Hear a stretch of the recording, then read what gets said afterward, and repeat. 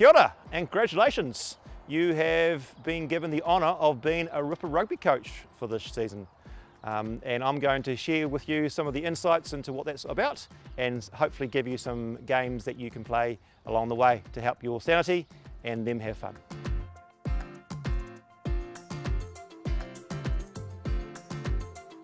Probably the biggest thing you need to be aware of is that uh, whatever you remember as rugby, completely forget because you're starting again. Um, all these students or kids are turning up uh, ready to play. Some are there because they want to be there, some because their parents have been there, and some um, because they're just having their first go at it.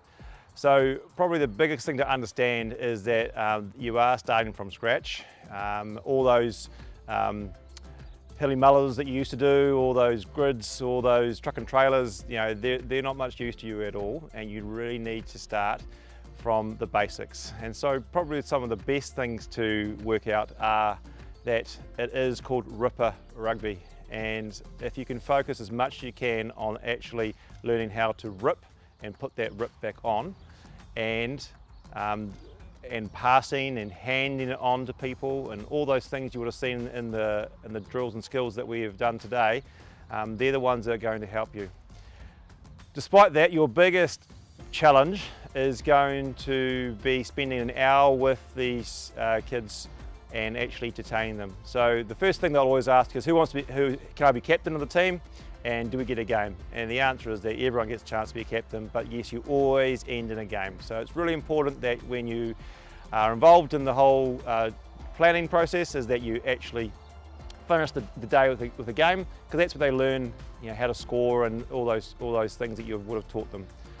Focus on one key thing. So it might be learning how to rip one week, the week it might be how to have those three steps, another week it might be how to score a try, um, it might be another week of actually having to have turns. Um, but all those things are really, really important because they are all the basis and all those little parts of the jigsaw puzzle that form Rippa Rugby itself. The other challenge that you've got is that you, next year, or the season after, or the season after that, all those players come back because we want rugby to be a sport where the students, uh, kids choose to be um, part of it, come back and play, and that's because you as a coach, what, you, what experience that you've given them, whether it be the fun they've had, the games they've had afterwards, uh, the, the, drills and skills you've done, how you've treated them before the game and after the game and during the game, all those things really, really count. So that's sort of the training side of things. Um, the next thing you need to understand is the day of the game. Now, uh, oranges at half time, that's great, that's a great tradition. Uh, water bottles, if they have their own water bottle, that's great. If you've got your own water bottles, that's cool as well.